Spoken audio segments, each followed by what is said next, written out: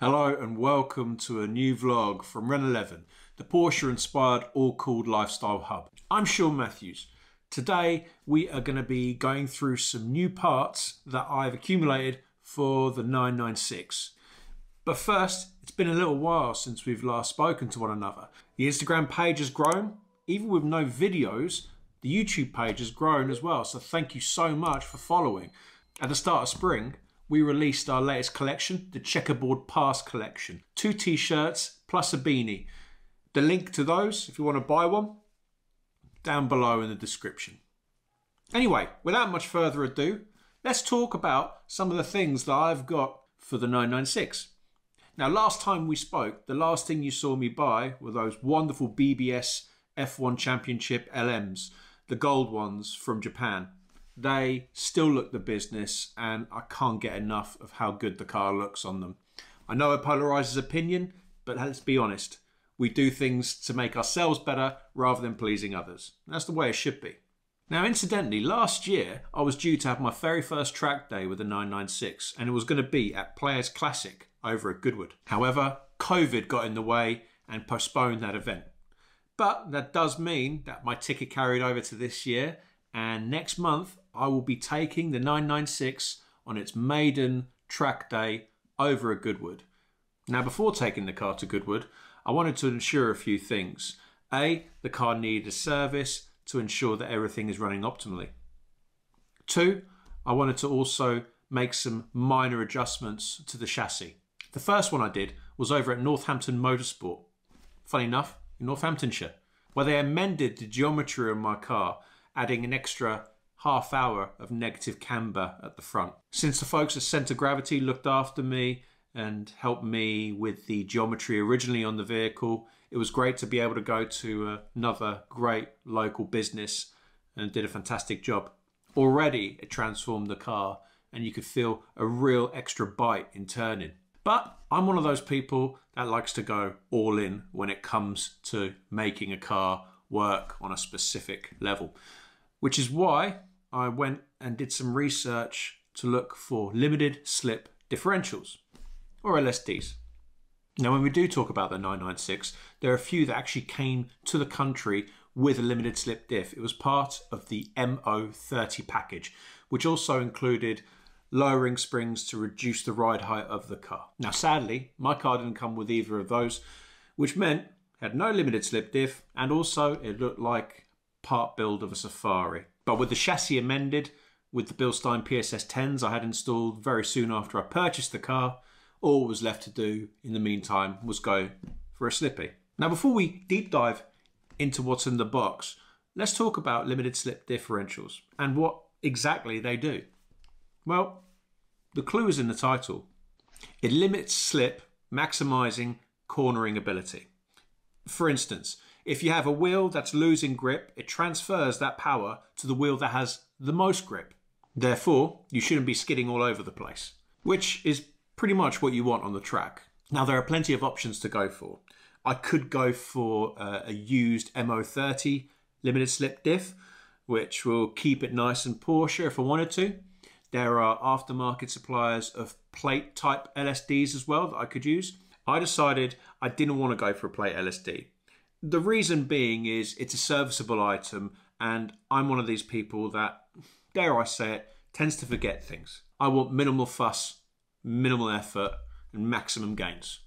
So there was only one real option for me after looking around. I managed to bag myself a Wavetrac ATB diff. Now the ATB stands for Automatic Torque Biasing. What that essentially means is it does not lose power from one wheel to the other like some differentials do. There is still some power transferred to even the slowest wheel, so it maximizes cornering ability. Plus, it's a fit and forget system, which means great for me. After I fit it, I don't have to worry about it whatsoever. So, shall we see what's in the box? Let's open it up.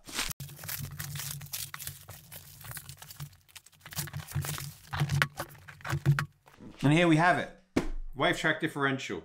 Now, it has got some bite marks.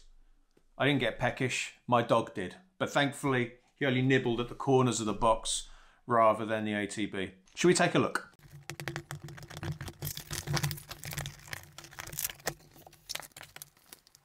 Instructions there.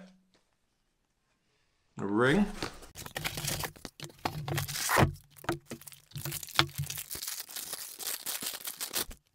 Wow, that's a hefty piece of kit. So it weighs quite a lot, as you can imagine. Uh, it's going to have a lot of power transferring through it, so it needs to be up and capable of the job. So this is going to be replacing my standard open differential that's in the vehicle. Now I am going to be sending this off to Wrightune based in Oxfordshire. They are a fantastic independent who have been in business for over 20 years. And they're a good bunch of lads as well. But wait, there's more. A box. Now it says Lego. I kind of downsized the box it originally came in. But this is something special.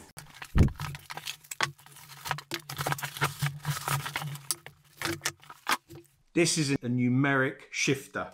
Numeric Racing are a business based out of Tampa in Florida, the USA.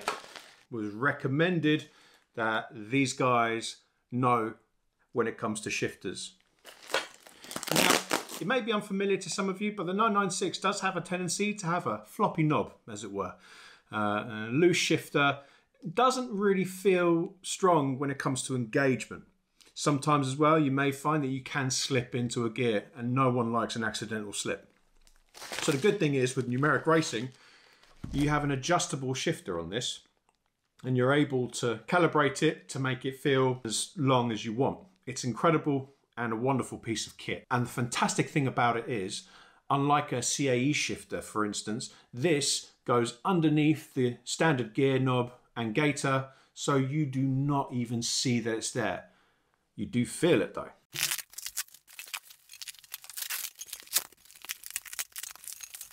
Why do they make wrapping so tight?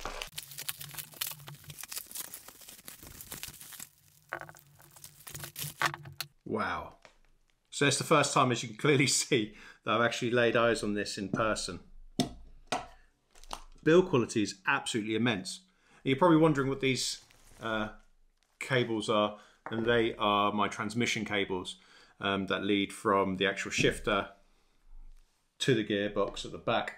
On here, you're able to adjust, this is the actual um, part of the shifter that connects to the gaiter and the gear knob.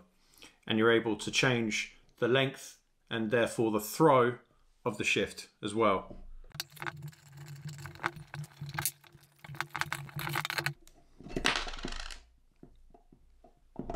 Oops. I'll put it back. I just wanted to get a feel. Already like the build quality in this is, is so impressive. Like if you see there's a, a good amount of lubrication in there. It's going to get heavy use, so it's already pre-prepared for it. The look of it is fantastic. I appreciate that this is hidden, but it's that attention to detail that really sells it for me. And whenever you're spending good money on any sort of product for your car, you want to make sure the build quality is up there. For me, I'm not going to be able to tell you how good it is until it's installed in the car. So what we're going to do is get this numeric shifter, the cables, and the Wavetrac diff and get it over to Wrightune, where they'll be able to install it for us and take us through some of the build process.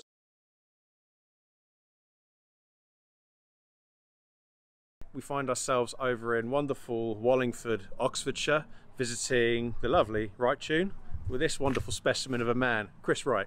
Uh, hey Chris, how you doing? All right, mate. How are you? Good to see you too, man. Yeah, Good all good, man. ya. All good.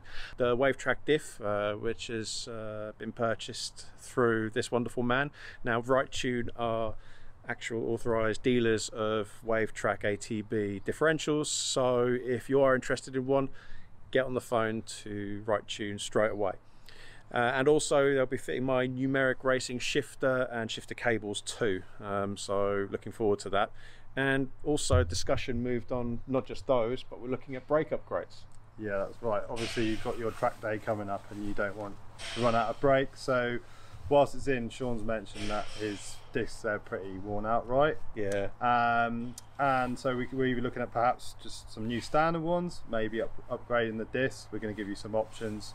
We'll talk on through the process as it's going through regular updates through email or over the phone. Also, probably some upgraded pads. Um, and probably we're going to change the fluid so it doesn't boil the fluid on the track day, as well as um, putting some braided lines on there for better feel.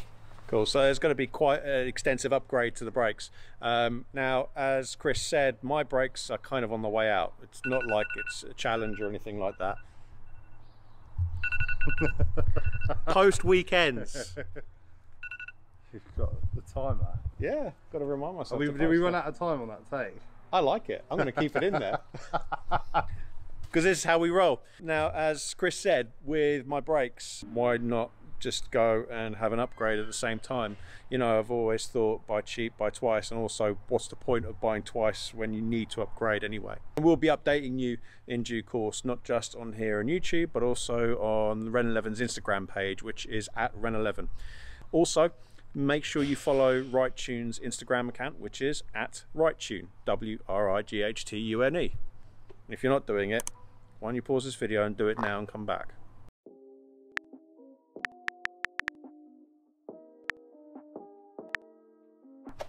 Thank you for coming back. We will see you very, very, very soon and uh, look forward to showcasing some of the results in due course. Take care, be safe, be good, and much love. Cheers, guys.